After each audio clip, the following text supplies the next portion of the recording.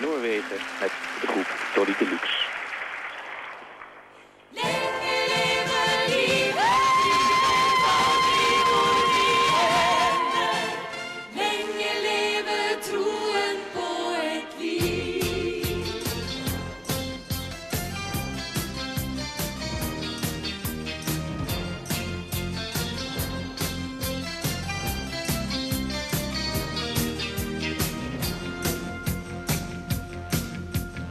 Himmel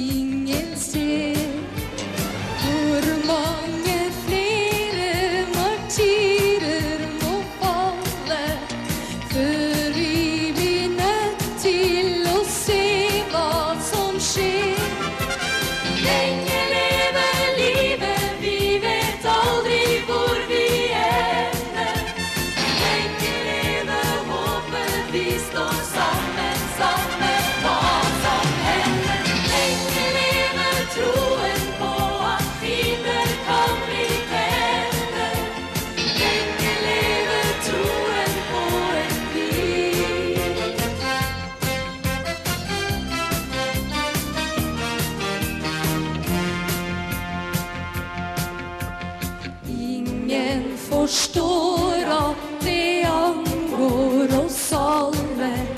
Ingen forstår hvordan dette kan skje.